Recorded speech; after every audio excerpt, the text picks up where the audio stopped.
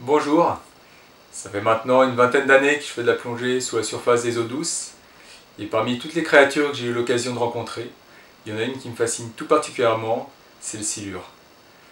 C'est un poisson qui reste assez mystérieux malgré sa taille, puisqu'il peut dépasser les 2 mètres de long.